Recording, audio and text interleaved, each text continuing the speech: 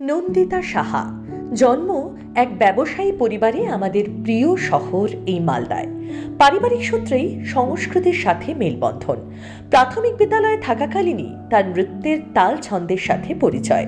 প্রথম গুরু শ্রী সুখেন্দু বড়ুয়া, তারপর শ্রীমতী অর্চনা কুণ্ডু, শ্রী দেবী প্রসাদ মিত্র, শ্রী মলয় ভট্টাচার্য, শ্রীমতী মালবিকা মিত্রের কাছে কত্থক ভরতনাট্যমের তালিম নিতে নিতেই তার আজকের নন্দিতা সাহা হয়ে ওঠা। তবে তিনি স্বীকার করেন যে শ্রীমতী চন্দনাদের কাছে তালিম নেওয়ার সময়ই তিনি নৃত্যকে চিনতে শিখেছেন, বুঝতে শিখেছেন। উনি এত ভালোভাবে আমাদের তালিম দিয়েছেন বা গাইডেন্স করেছেন, আমি বলি না, মালদার পুরো মালদাবাসীকে উনি শিখিয়ে গিয়েছিলেন নাচটা কি? এবং শুধু নাচ না লোকের সাথে কীভাবে ব্যবহার করতে হয়?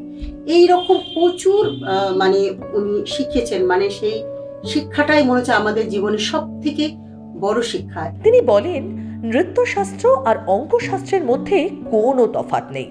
তিনি হয়তো একমাত্র শিক্ষিকা, যিনি রান্নাঘরের কেমিস্ট্রির সাথে নৃত্য ভঙ্গিমার কেমিস্ট্রির মিল খুঁজে পান।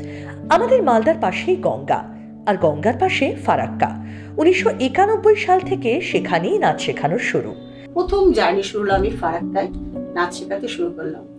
তখন এই দিদি রূপাদি বললেন, তুমি যাও না। বলছে, দিদি, কিচ্ছু জানি না, কি শেখাবো? কোনো এক্সপিরিয়েন্স নেই। বলল, তুমি যাও, শুরু করো। দেখবে তোমার শেখাতে শেখাতে অনেক এক্সপিরিয়েন্স আসবে, তুমি বুঝতে পারবে। তো সেই থেকে আমার জার্নি শুরু হলো, হাতে করি হলো ফারাক্কায় যাওয়া।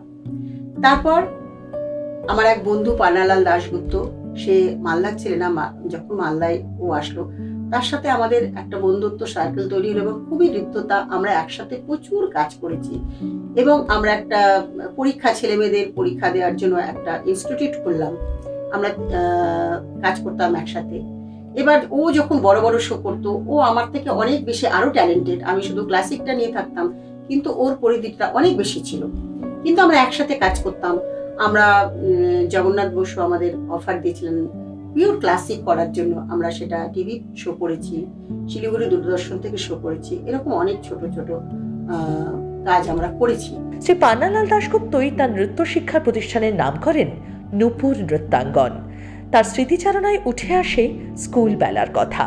চিন্তামণি চমৎকার উচ্চ বালিকা বিদ্যালয়ে থাকাকালীনই গম্ভীরা গানের সাথে মুখোশ নৃত্য পরিবেশনার কথা বলতে গিয়ে তিনি খানিকটা নস্টালজিক মালদায় গম্ভীরা। ব্যাপারটা কিন্তু খুব জনপ্রিয়। এবং মালদাবাসী কেন? এটা মালদার বাইরেও এই গম্ভীরাটা ভীষণ পরিচিত। তখন স্কুলে পড়ে একটা কম্পিটিশন হয়। প্রথমে ডিস্ট্রিক্ট ওয়াইজ তারপরে সেটা রাজ্যে যায়। তো মালদায় আমাদের স্কুল থেকে আমি চিন্তামণি স্কুলের স্টুডেন্ট ছিলাম। সেখান থেকে মুখোশ নৃত্য। এটা মুখোশ পরে আমাদের পড়তে হতো। তো সেটা আমাদের ক্রাইটেরিয়া ছিল কুড়ি মিনিট এবং পাঁচ জনের বেশি এটা অংশগ্রহণ করতে পারবে না। তো পাঁচ জনের মধ্যে আমার তখন এরকম এত অব্দি চুল ছিল। তা আমি কালীর রোলটা করেছিলাম, কালী, দুর্গা, শিব এবং দুজন অসুর এবং ওটা ঢাকের সাথে করতে হবে। তো সেটা আমরা মালদায় কিন্তু আমরা বিনার হলাম আমরা ফার্স্ট হলাম তো এই পরপর ছোট ছোট জার্নি এরকম যখন শুরু হলো, ফারাক্কায় যেতে গিয়ে ফারাক্কায় এককালীন কিন্তু আমার অনেকটাই আমার পরিধিটা বিস্তার ফারাক্কায় তিনটে জায়গায় মানে ওদের পিটিএস টিটিএস এবং টিটিভি এবং ডিএভি টিচার ছিলাম আমি ডান্স টিচার এমনকি মিসেস জি এম বালভবনেরও আমি টিচার ছিলাম। তো ওইভাবে ফারাক্কা থেকে জার্নি এবং ফারাক্কায় হাতে করিয়ে হয়েছে এবং ফারাক্কায় যখন ডিএভিতে কাজ করতে যায়, তখন ছোট ছোট কম্পিটিশন হতো। সেটা আমি যখন করতাম, ওরা যখন প্লেস পেতো হ্যাঁ তখন আমার ভা- খুবই ভালো লাগতো যে সত্যি আমি কাজটা হয়তো কিছুটা হলেও করতে পেরেছি। হ্যাঁ যে যখন ডিপিএস ফার্স্ট প্রাইজ পেত। হ্যাঁ মহালয়ের অনুষ্ঠান পঁচিশে ছাব্বিশে জানুয়ারি, পনেরো আগস্টের মাঠে যখন পেত, তখন আস্তে আস্তে করে আমারও একটা মানে কাজ করার এবং চিন্তা ভাবনার পরিধিটা অনেক বেড়ে গেল। নাচ নিয়ে পড়াশুনোর ইচ্ছেটা পূরণ না হওয়ার কষ্টটা তিনি ছাত্রছাত্রীদের এগিয়ে যাওয়ার মধ্য দিয়েই ভুলে থাকতে চান। পরবর্তী জন্ম যদি থেকে থাকে, তাহলে আবারও নৃত্যশিল্পী হিসেবেই পরিচিত হতে চান শ্রীমতী নন্দিতা সাহা। ছাত্রছাত্রীদের জন্য গুরুবাক্য, নাচের জন্য যদি কখনো এক ফোঁটা চোখের জল পড়ে, তবে বুঝবে নাচকে তুমি কতটা ভালোবাসো। এরপর আর বোধহয় কিছু বলা চলে না। ভালো থাকুন নন্দিতাদি। স্রোত ডান্স অ্যান্ড কালচারাল একাডেমি আপনার আগামী দিনগুলোর জন্য এক মন শুভেচ্ছা জানায়। যার জন্য এত কিছু আবারও বলা সেই নন্দিতাদিকে মঞ্চে আহ্বান জানাই সাথে অবশ্যই রাজদীপদাকে। প্রথমে দু একটি কথা শুনে নিই।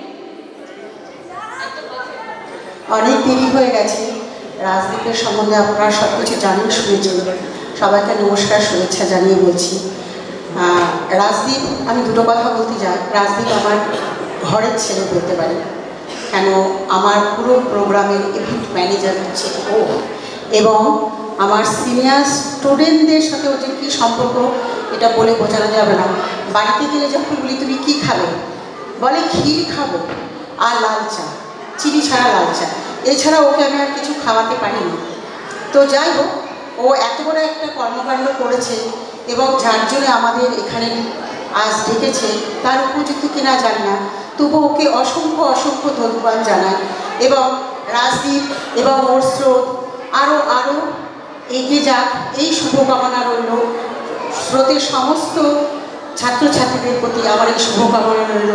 আর আপনাদের রইল আগাম বছর কিছুদিন পরে আমরা একটা নতুন বছরের দিকে এগিয়ে চলেছি। সবাই ভালো থাকবেন। এই কামনা করে আজ শেষ করছি। ধন্যবাদ।